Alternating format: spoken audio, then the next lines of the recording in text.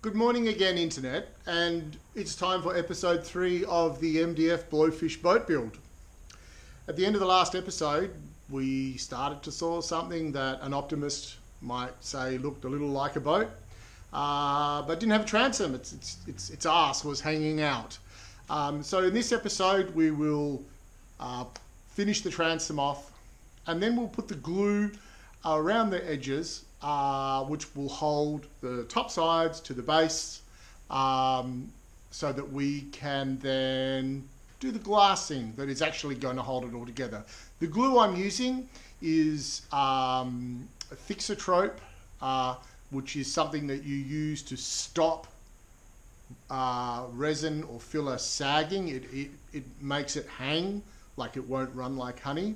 Um, and Q-Cells. Q-Cells is actually just a filler. It doesn't add any strength. In fact, it's quite weak because you need to sand it. Um, generally, you like smooth it over something, sand it smooth and paint it, and you'd like, yeah, we don't know that that's there. Um, but I'm using it to bulk up the glue a bit. These fillets around the edges of the all the joins in the boat um, don't have to be all that strong. They do have to hold it together while we're building it, but it's actually the fiberglass around the outside of everything that I'm relying on to do the strength work. Um, so at the end of today's video, you'll probably get to see a little boat that's a bit more boaty than the last boat you saw with no ass.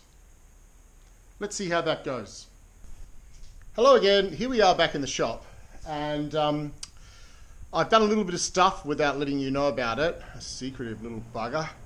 But initially, this is 2.4 meters from this point here up to the bow and I was going to cut the back off here. The fact is, I like this little bit extra. It's been a little bit of a pain to like just put a bit of stuff in here to extend this. But you know what? I'm good with it now. I've done it. And it's actually going to make this a little bit thicker through here. And remember, not that we're going to have a very big outboard on this, three horses at max. Um, but like a bit of strength around here is going to be needed. So the fact that this is a bit thicker, there's actually going to be a little box in here to help that and some gussets in the corner. But that's going to help. So what I've done is I've leveled up the boat.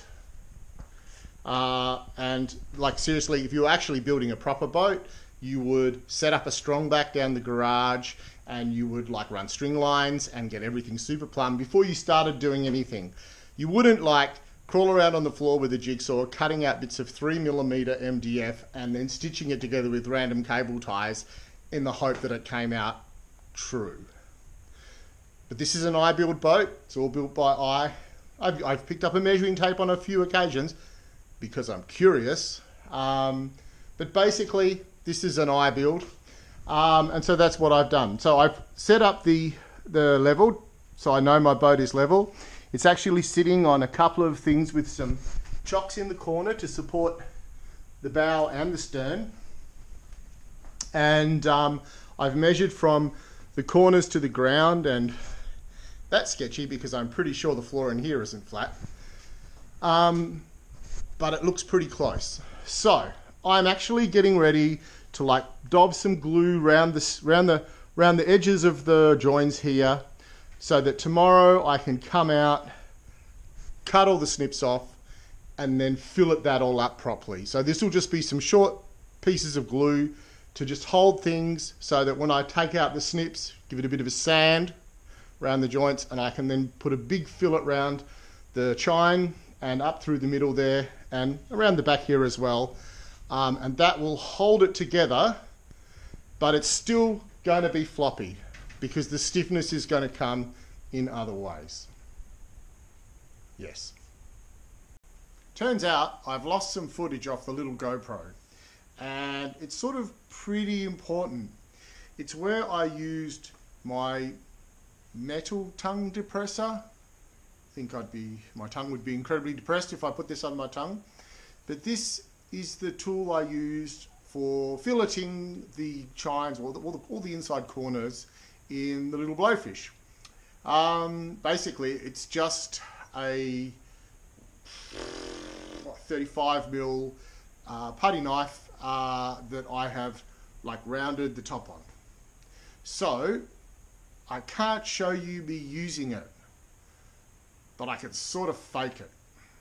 Well, actually, I actually found a bit of footage of me using the knife in another video file. So here's a bit. You can see I've already done quite a lot.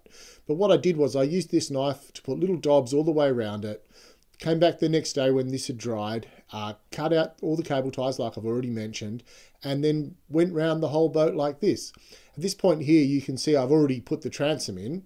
But um, let's go and see how I did that. Okay, well, before we do that, here's the boat with all the dobs the next morning. You can see basically you just put a dob of glue every, I don't know, 20 centimetres to 100 centimetres around, depending on how curvy the part of the boat is there.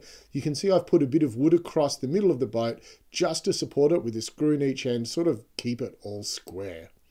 Um, and, you know, there's my bit of transom board in there as well. Anyway, that's shocking, isn't it?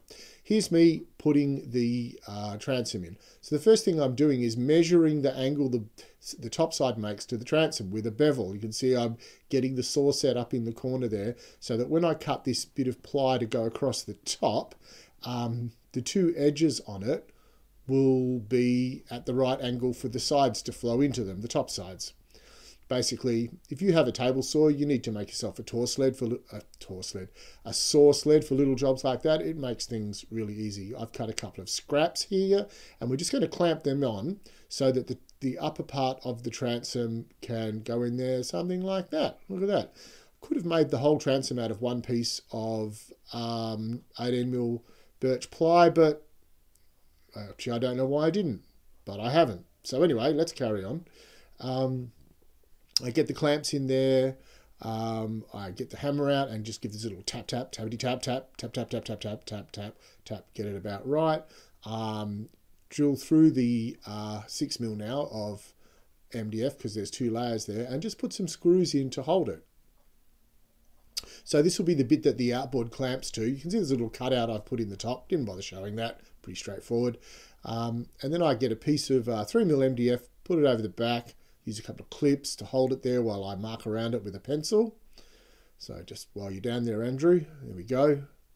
Around we go with the pencil. And, um, oh yeah, better do the top. Forgot the top. There we go.